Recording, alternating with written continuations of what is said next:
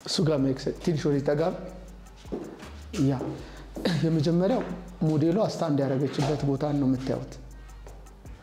እዛ ሁለተኛው ነገር light ኣችሁ የቱ ጋር እንደቆመ ነው የምታዩት አይደል? ሶስተኛ ነገር ስለ stand ነው የምነግራችሁ። ሶስተኛ ነገር እናንተ ከእሷ ያላችሁን distance distance ኡን measure የምታደርጉበት ቦታ ማለት ነው። ምሳሌ እዚህ ጋር ያስኩት ሌንስ አለ አይደል? እዚህ ጋር ብሆን ልሆንም አልችልም። በቃ ራሱ measure ያደረገኝ ማለት experience ኡ ነው ምነግርህ። እዚህ ጋር ስትቆም እንዳትቆም ራሱ እንትኑ ይገፋፋል። አልመች ሲለን አንዳንዴ እዚህ ከሆነ በቃ space ከሌለን ሌንስ ለመቀየር time ከሌለን የምንፈጥረው ስህተቶች አሉ። ግን እሱን ደግሞ እንዴት ነው cover ማድረግ ያለብን?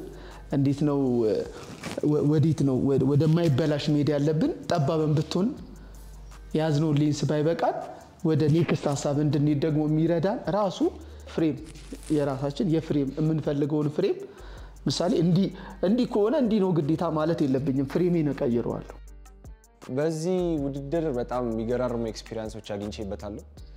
በጣም ማለት ሌላ ጊዜ time ኖሮኝ ምናምን ነበር የማስበው። ማለት አንድ photoshoot ካለኝ time ወስጄ ምን መውሰድ እንዳለብኝ ምን አይነት take መውሰድ እንዳለብኝ ምናምን አስብ ነበርና አሁን like በፍጥነት ነገሮች እንዴት create ማድረግ እንዳለብኝ በተለያዩ within fraction of seconds የሆኑ ሀሳቦችን ቶሎ አመንጭቼ አሪፍ ነገርን create ማድረግ በጣም የጠቀመኝና በጣም የተማርኩበት ነገር ነው። ከዛ ውጭ ደግሞ ይሄ story telling የሚባለውን ነገር በደንብ more focus እንዳረግበት እያረገኝ ነው።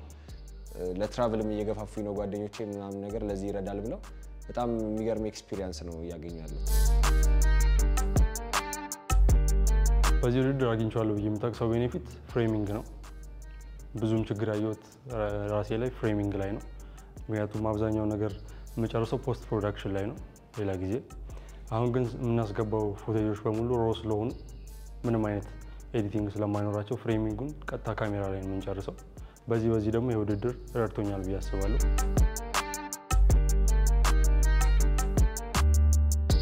በዚህ በፖዝ የ photography ውድድር ላይ በጣም በጣም መናገር ከምችለው በላይ ማለት ትምህርት ቤት ገብቼ ላገኘው የማልችለውን እውቀት አግኝቻለሁ ብዬ ነው የማስበው። light ላይ በተለይ በጣም lighting ላይ ምንም አይነት experience አልነበረኝም። ደጋግሜ አውርቼዋለሁ። lighting ላይ በጣም በፈጣን ጊዜ አሪፍ experience አግኝቻለሁ።